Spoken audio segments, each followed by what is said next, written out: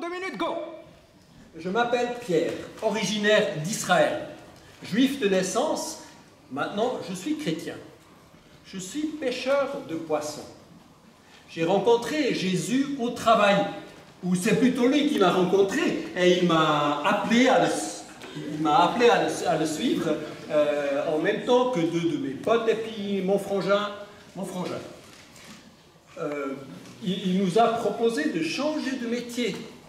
Il a dit, vous ne serez plus des pêcheurs de poissons, mais des pêcheurs d'êtres humains. What? Sans sas Continuez Euh, Alors, pour finir, on était 12. Le gang de Jésus, quoi. C'était c'était- c'était incroyable.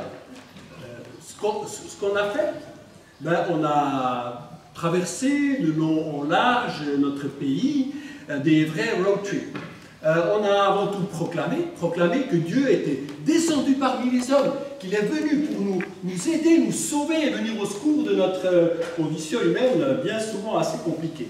Mais on n'a pas seulement parlé, on a aussi agi. On a guéri des gens avec la puissance de Dieu. On a libéré des, des démoniaques, des gens qui étaient pris dans toutes sortes de problèmes psychologiques et autres. Je ne vous en dis pas. Avec Jésus, ça déménageait.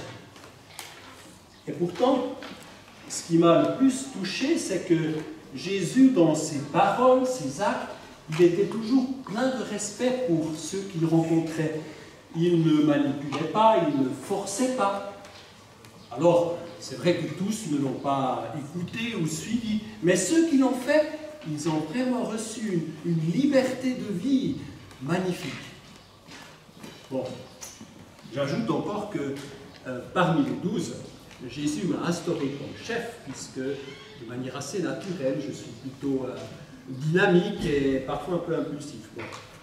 Il était pleinement conscient de notre complexité humaine, parce que lui-même, il a vécu une vie humaine comme nous tous, comme un être humain, comme un autre. Il nous a appris à aimer, aimer en vérité. Mais ce n'est pas un chemin si facile que ça. Je l'ai appris à mes dépens. Un jour, les disciples, euh, les douze, en étaient en route au nord de- du pays. Ah, ça fait du bien de ne pas être suivi par ces foules euh, qui nous collent toujours au basket. Ah, tu as raison. Ah, puis ses enseignements Il a une autorité quand il parle, c'est vraiment euh, génial. Il sait de quoi il parle, quoi. C'est c'est juste.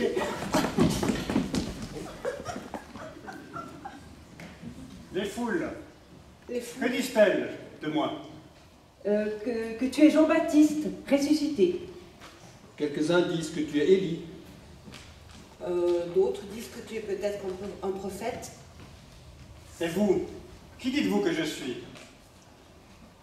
Mais tu es le Messie, le Fils du Dieu vivant. Bravo Pierre, tu es heureux, car c'est mon Père qui est dans le ciel qui t'a révélé ce nom. Bingo Bravo, Pierre Dis donc, dans le mine, hein Ouh, Jésus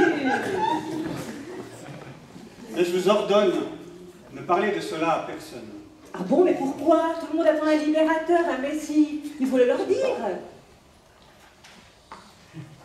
Bon, ok, ok, c'est bon. Si tu veux pas, on compris. Voilà ce que vous devez savoir. Je vais devoir passer par des souffrances. Les chefs religieux d'Israël, ils m'aiment pas. Ils vont me faire mourir. Mais le troisième jour, je vais ressusciter.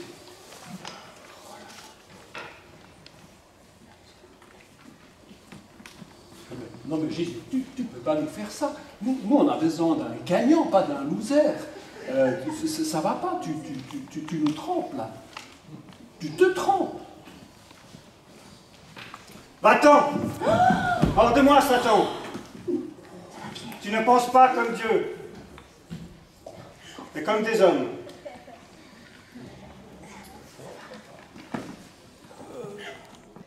Je suis quand même reconnaissant parce qu'il ne m'a pas destitué comme chef responsable des disciples. Donc euh, ça m'a aidé. Oui, tu es capable des plus erreurs. En fait, euh, je suis capable des plus belles découvertes spirituelles et en même temps de faire les plus graves erreurs aussi spirituel, on peut dire.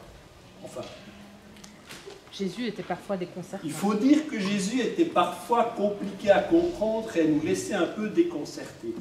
Ouais. C'est la réalité. Alors, mystérieux votre Jésus, hein. Bon, allez, euh, séquence suivante.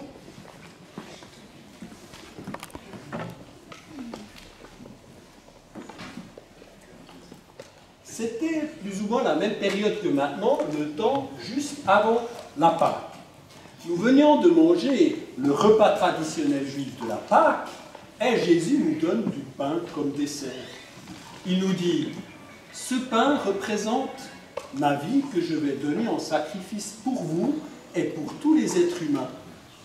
Et après un moment, il nous passe une coupe avec du vin en nous disant que ce vin symbolisait son sang qu'il allait verser pour le pardon de nos péchés. Nous quittons le lieu du repas et puis, ensemble avec les disciples, on va en direction du mont des Oliviers. Après un moment, Jésus s'arrête et se tourne vers nous et il nous dit Vous allez tous m'abandonner. Oh, les autres, certainement, peuvent t'abandonner, mais moi, jamais de la vie. Détrompe-toi, Pierre. Ce soir même, avant que le coq ne chante, tu auras juré trois fois que tu ne me connais pas. Je suis prêt à mourir avec toi, Jésus. Jamais je ne te trahirai. Euh, euh, euh, Mon mari m'a souvent raconté cette histoire. Alors, euh, hormis, euh, hormis Judas, les, Les disciples sont rendus au jardin de Gethsemane pour prier. Jésus prie, mais pas les disciples. Ils sont fatigués, ils s'endorment, ils sont crevés.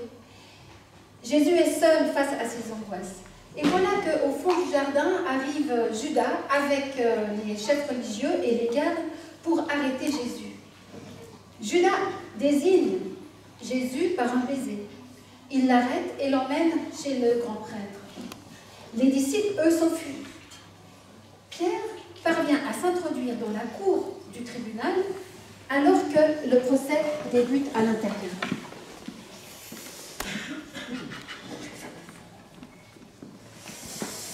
Ça, tu peux jouer, Pierre, maintenant? Oui, oui, ça va aller.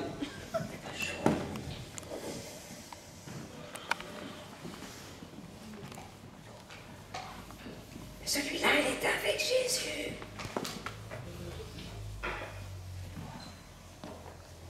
Toi, tu étais avec Jésus de Nazareth? Non, non, tu te trompes. Je ne sais pas de quoi tu parles.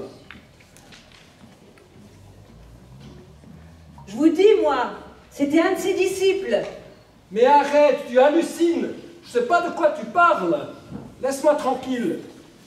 Ouais, toi aussi, tu es de, tu es de Galilée, tout comme ce Jésus. Ton accent te trahit. Mais que Dieu me punisse si je mens. Je ne connais pas cet homme.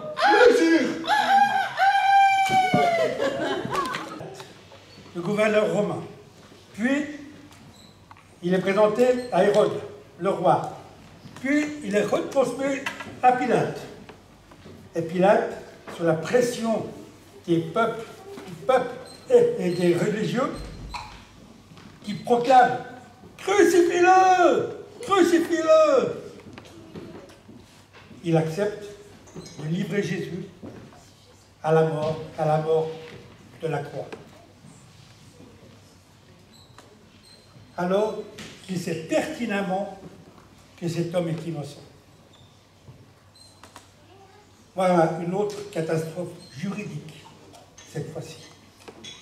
Et Jésus est flagellé. Sa chair tombe en lambeaux. Jésus doit porter sa croix jusqu'au lieu d'exécution. Là, les gardes tirent au sort son vêtement et le clouent sur la croix.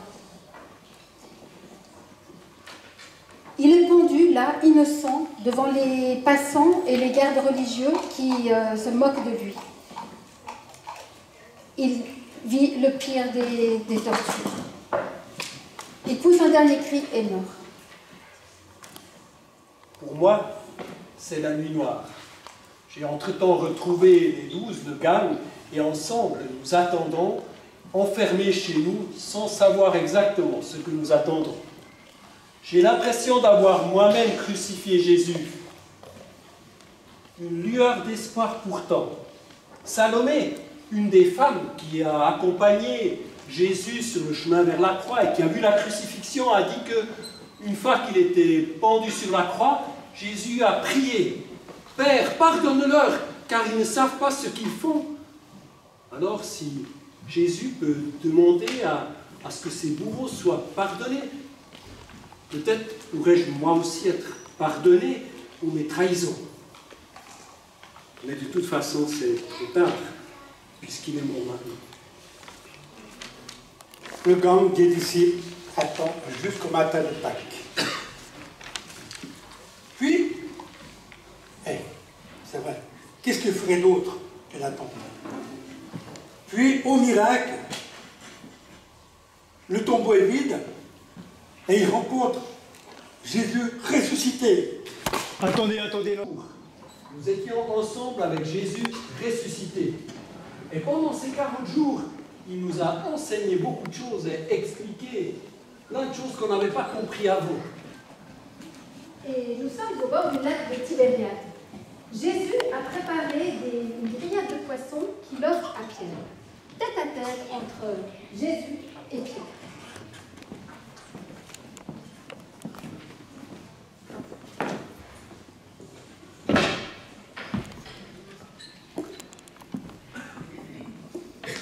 Pierre, comment ça va?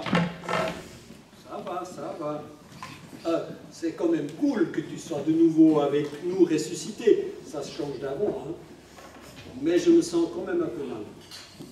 Pourquoi Qu'est-ce qui se passe Mangé Oh, tu sais que j'adore le poisson. Mais c'est pas tous les jours qu'on se trouve en compagnie d'un ressuscité. Pierre, est-ce que tu m'aimes plus que les autres disciples? Seigneur, tu sais que je t'aime. Prends soin de mes disciples.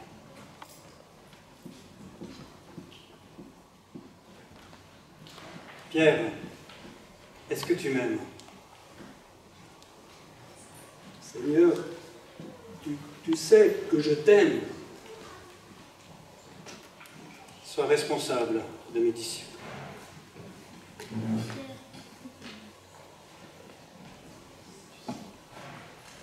Pierre, est-ce que tu m'aimes?